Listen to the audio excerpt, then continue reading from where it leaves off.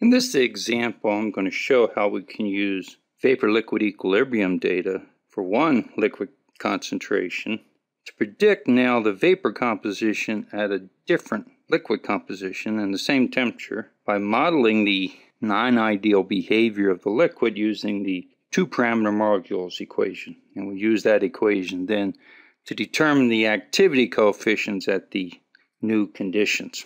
So we're going to look at a system 50 degrees and a total pressure 1.4 bar. We're given the mole fraction in the liquid phase and in the vapor phase for component 1. We're given the saturation pressures and the question is at 50 degrees and a mole fraction for the liquid phase of component 1 of 0.8, what is the vapor phase composition? And so the approach we're going to use is start with the modified Raoult's law and we can write this for both components. I'll just write it for component 1.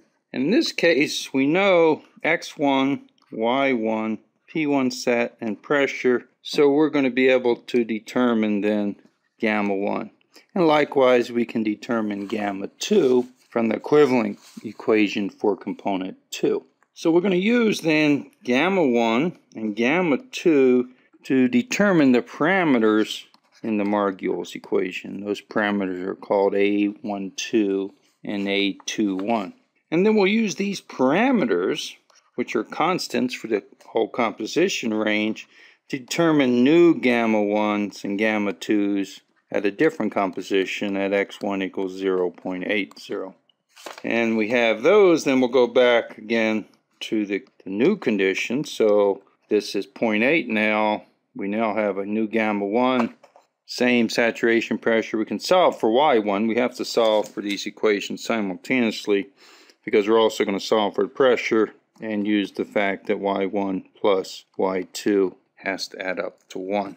So what I've done here is write down the Margules equation. It's assuming that gxs divided by x1, x2 is it's linear, straight line. Remember gxs is related to the gammas as follows. It allows us to calculate the parameters from knowing x1, x2, gamma 1, gamma 2. At some condition, we can get the parameters.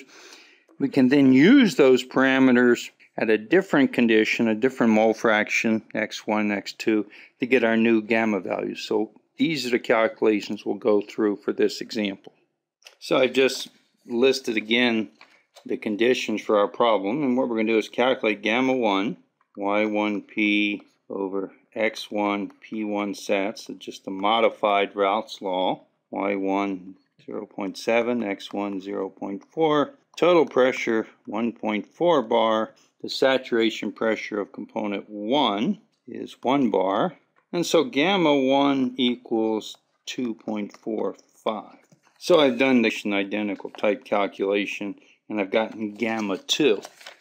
Now I have gamma 1 and gamma 2, I can substitute into the equations to get the two parameters from Margules equation. So I've reproduced the equations for A12 and A21. I then substitute in the values for the conditions that we know, and I got the two parameters. I'm going to now use these two parameters to calculate gamma 1 and gamma 2 at our new conditions. So I've reproduced the equations for log of gamma 1, log of gamma 2, and then I substitute in now for conditions of x2 0.2, x1 of 0.8, the a1, a21, a12 parameters.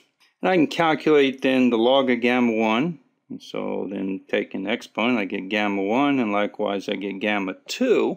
Then I can use these to go back to the modified Raoult's law and in this case, y1, which is what we're trying to solve for at the new condition, and the modified Raoult's law is this, and y2 is the corresponding equation for component 2.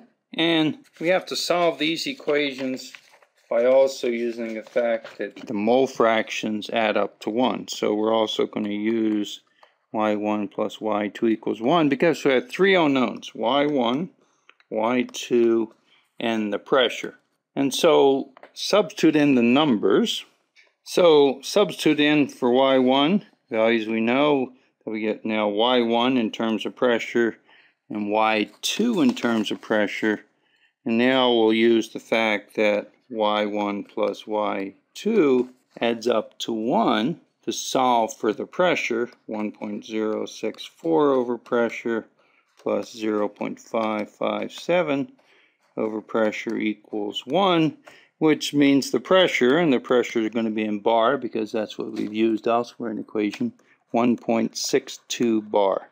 And once we have the pressure, we can go back to this equation to get y1, 0.656, and then y2, 0.344.